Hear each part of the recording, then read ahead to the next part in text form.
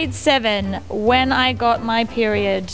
Is that too much? I thought I was just telling things about myself. You have to legally change your name. What do you choose? Gertrude Rose Beavenhausen. Hipsters are the scum of the earth. Public toilet etiquette. I like to listen to people pee, but don't talk about it. If you could go back and tell your five year old self one thing, what would it be? What is the best word in the world? Haberdashery.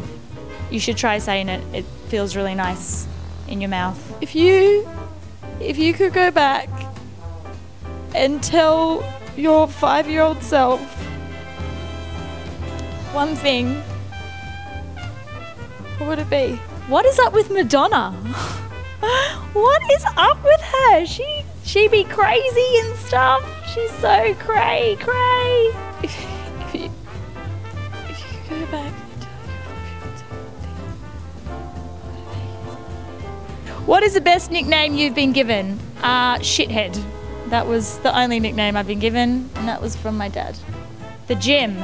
The gym is a weird place. I don't like going to the gym because um, I find it hard to concentrate. Feel like I'm kind of, you know, like outside of my body looking in on rooms full of people, you know, on objects that go nowhere, like on bikes that go nowhere. Feel like we're hamsters in a wheel in a lab, an alien's lab. Then I realised I should probably stop smoking weed before I go to the gym. Justin Bieber. You know what? F you, Justin Bieber. I tell you what, actually, he really pisses me off. Um, his film, Never Say Never.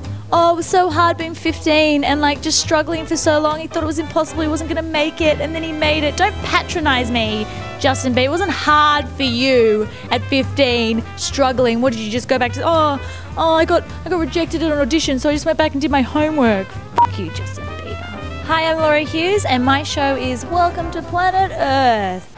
Nova.